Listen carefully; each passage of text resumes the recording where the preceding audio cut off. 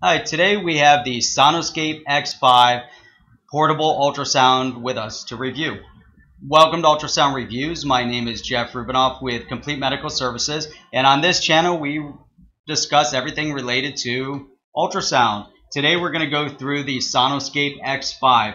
Let's look at some of the physical characteristics of the X5 before we get into the inner workings of the X5. The first thing that we're going to notice is the size and weight of this X5. It's very compact, very portable. So for a an entry level ultrasound, I think they did a great job with making it uh, compact and lightweight, where still maintaining uh, the size of the monitor. So it boasts a 15.6 inch LCD monitor. Um, you're getting decent resolution. The higher end uh, portable uh, ultrasounds are going to be using IPS technology or they're going to be using a higher end LED technology for the monitor, but still with a 15.6 inch LCD, you're still getting very good resolution. The other part uh, of, of this ultrasound that I think is really impressive is the boot up time.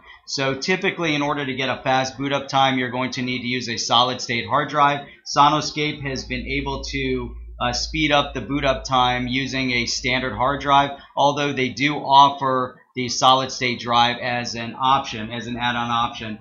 Benefit of a solid state drive is typically boot up time, but also uh, durability of product and consistency of maintaining the data.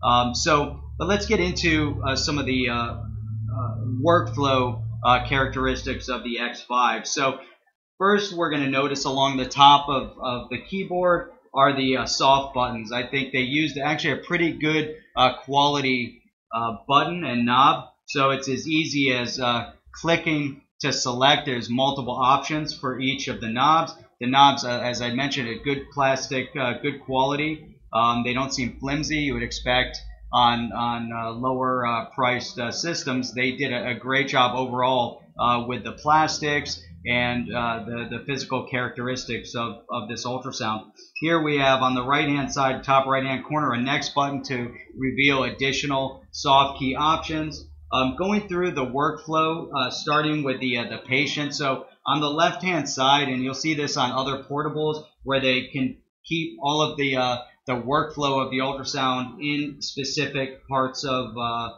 specific regions. So here, as we go through from patient demographic data to selecting the probe, selecting the preset. So if we ever have to go back and we want to select a specific preset, we just hit probe and we can go and change our presets. What Sonoscape has done that's unique, and, and let me see if I can if I can uh, adjust this a little bit. I'm not sure if you can make out and we'll see it as we go through in editing to see if we see the, uh, the, the graphics. But this is unique. Typically, when you go through the presets, it's verbiage. Here, they've added graphics. Um, I, I, as I'm looking through uh, on my end, it looks like they're just it's just white. That's the the reflection. But here, starting on the left-hand side, we have carotid, thyroid, breast, superficial, testicle.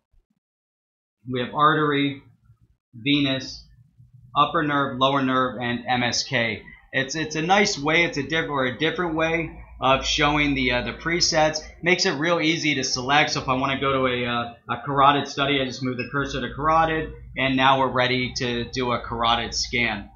Um, so as we go through and identify uh, some of the uh, the workflow buttons, um, one thing that I should note is that the Sonoscape X5 is a full shared service system. So today I have an array of transducers in front of me.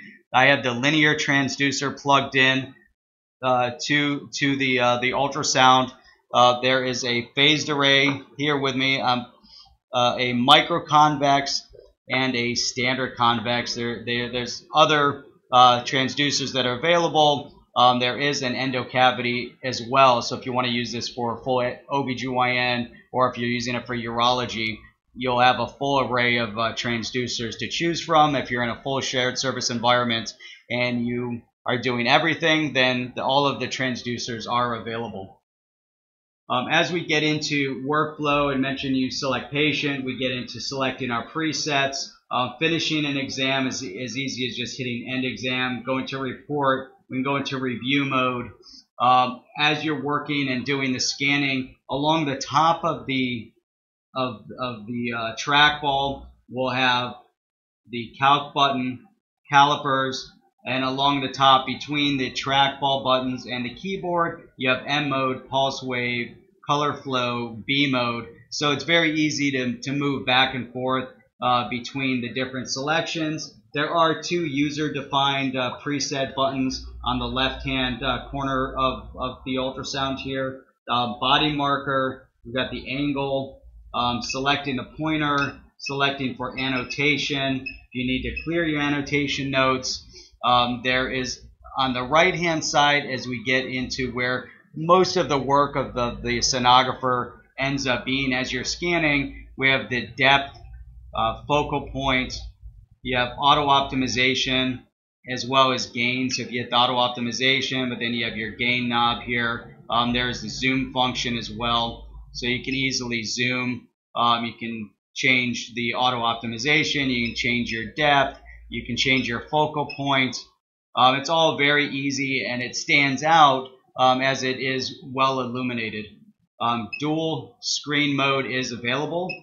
Or, um, and if you're looking to save images, we have our image store over here in the bottom right hand corner, as well as the store of a CNA file. You'll notice that as these images are storing, you're going to see the thumbnails in the top right hand corner uh, of the of the monitor.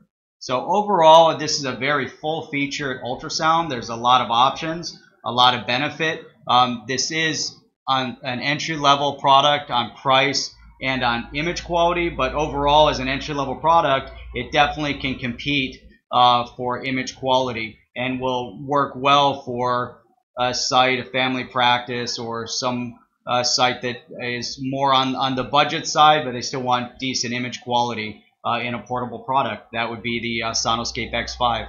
Um, if you like today's video, give a, uh, a thumbs up uh, to show that you like today's video. Um, if you like all of our videos and you'd like to subscribe to our channel, I would uh, ask that you subscribe to our channel so that way you can follow us as we upload new videos. Um, in order to be notified of our new videos, once you hit subscribe, you'll notice a bell. If you click the bell, that will give you a notification every time we do upload a new video. So thank you for joining me today on Ultrasound Reviews, and I look forward to seeing you on our next video.